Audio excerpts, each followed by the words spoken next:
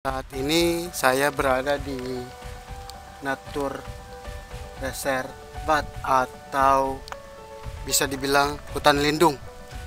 Kita coba metik jamur jenis lain. Ya. Ini peralatannya. Pisau sama kori. Nanti dilanjut lagi ya. Ini adalah salah satu medan yang harus kita lalui lumayan. Tanjakannya tinggi. Huh. Ada yang mau petik jamur juga tuh di depan.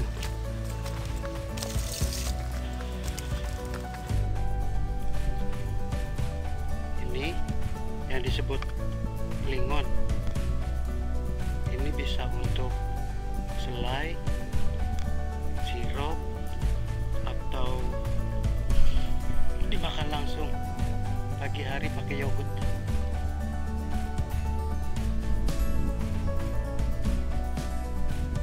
yang dibilang lingon juga masih bisa ditemuin.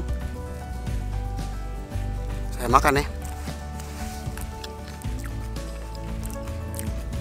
Asam sepet gitu rasanya. Produksi hutan yang dipetik oleh orang-orang Thailand yang didatengin dari negaranya. Itu yang warna kuning jamur gold kantarel. Ini di pasaran harganya lumayan mahal. Kalau pas belum musim dan rasanya enak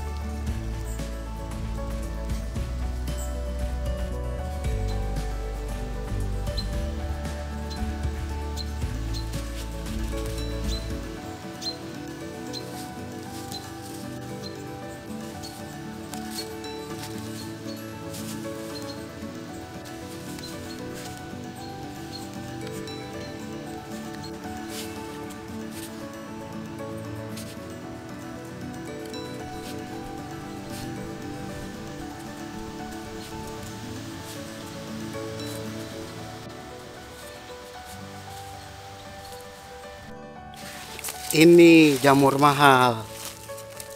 Gul kantarel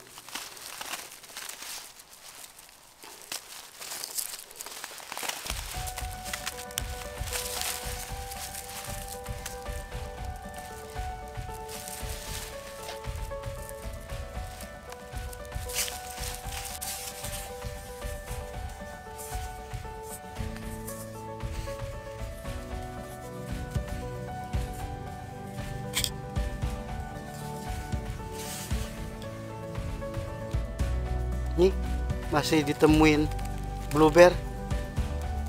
Nggak banyak. Yang dibilang blueberry.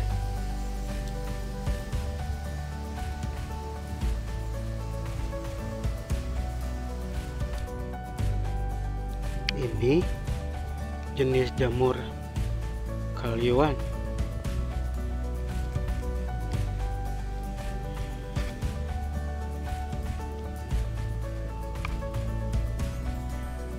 gedung banget.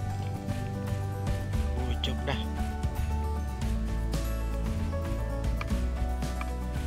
Ini kita bersihin bagian pangkalnya. Terus ininya juga bisa kita bersihin pakai sikat. Ini yang dibilang trot kantarel. Dan yang jadi buruan di Swedia.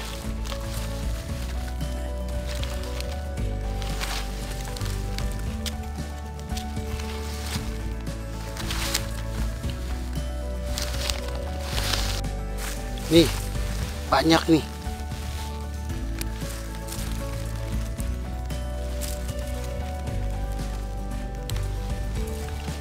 Tuh.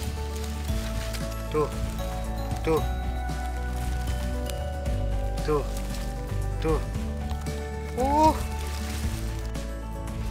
Ini jenis jamur trat tantarel jamur yang jadi buruan saya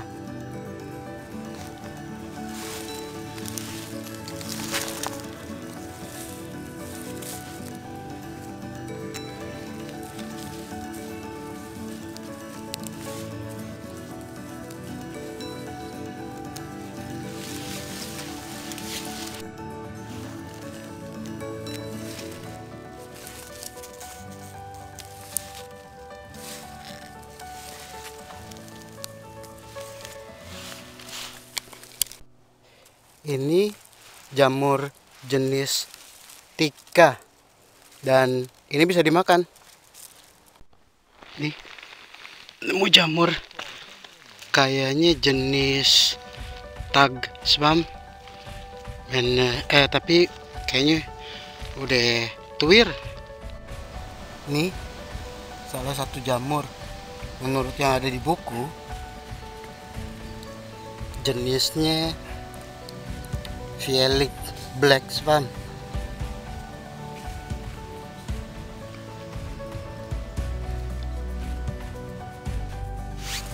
Ini jamur nih. Tapi kayaknya nggak bisa dimakan deh. Waktunya istirahat sejenak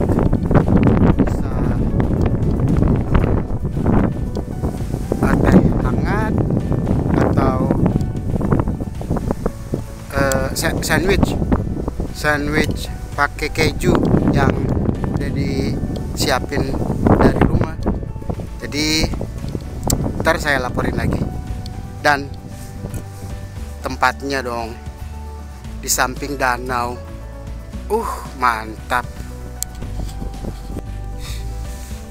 Ini loh bekalnya yang saya maksud. Teh hangat sama sandwich keju makan. Namanya juga di hutan. Jadi kalau ketemu rusa besar ular manjangan atau kelinci gak usah panik. Karena binatang-binatangnya juga nggak eh, mau kontak sama manusia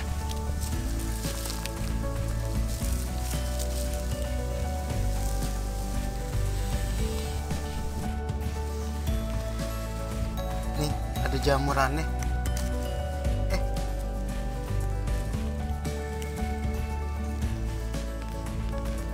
Apa ini yang dibilang jamur kuping ya guys? Tapi saya nggak berani ambil saya nggak pernah matikan kayak gini. Cakep ya jamurnya tapi beracun. Itu juga tuh jamur di pinggir jalan